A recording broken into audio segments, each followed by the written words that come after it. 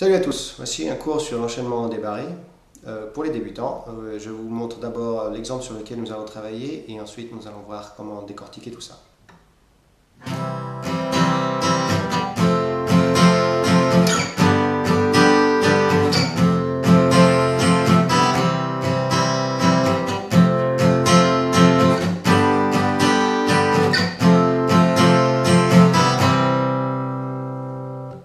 Alors tout d'abord, avant de commencer, euh, il faut que vous soyez à l'aise avec le barré en soi, que vous ayez déjà quand même euh, ça en bonne base.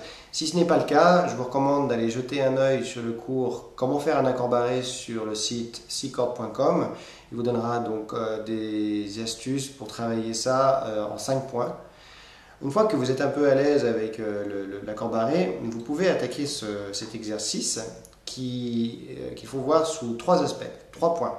Le premier point, c'est euh, comment passer de l'accord Do à l'accord Fa, qui sont donc un accord non barré et un accord barré. Ici, euh, l'avantage entre ces deux accords, c'est qu'il y a un doigt pivot, qui est donc l'annulaire euh, sur la troisième case de l'accord de La. Lorsque vous êtes sur le Do, vous allez changer d'accord, votre doigt pivot ne bougera pas. Et cela vous permettra de passer sur votre Fa de manière assez simple, puisqu'il sera là pour guider les autres doigts. Donc, entraînez-vous dans un premier temps à passer du, doigt, du Do au Fa, régulièrement comme ça. Et il faut que ça sonne bien, le mieux possible. Une fois que vous êtes à l'aise avec ce petit exercice que vous pouvez faire euh, tous les jours, un peu, 30 euh, secondes, une minute, de temps en temps, vous prenez votre guitare et vous vous amusez à faire ce passage-là. Vous faites la même chose avec le passage du Fa au Sol, qui sont euh, deux accords barrés, qui ont exactement la même forme, une forme majeure, comme vous pouvez le constater.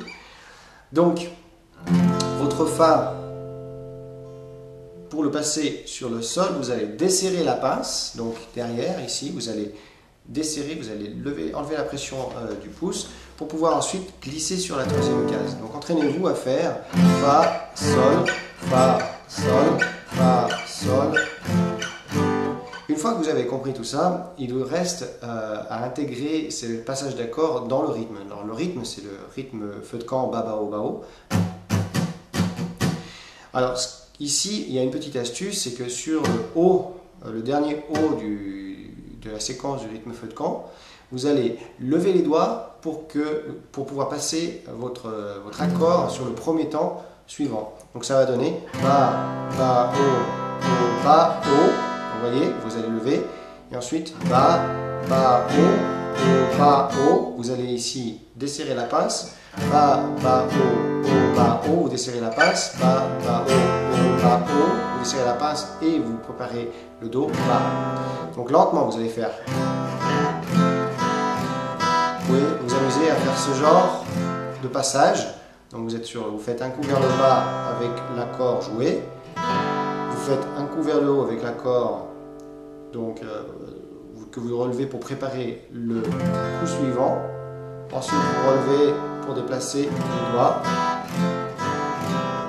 Travaillez lentement pour pouvoir ensuite arriver à ce résultat.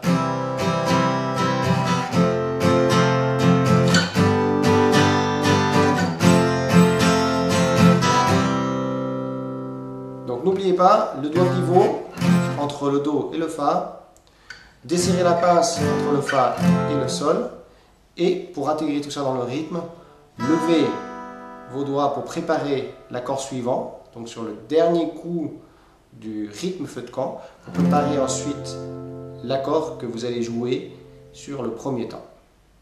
Bon courage, il y aura d'autres euh, cours euh, pour euh, travailler sur le, sur le barré.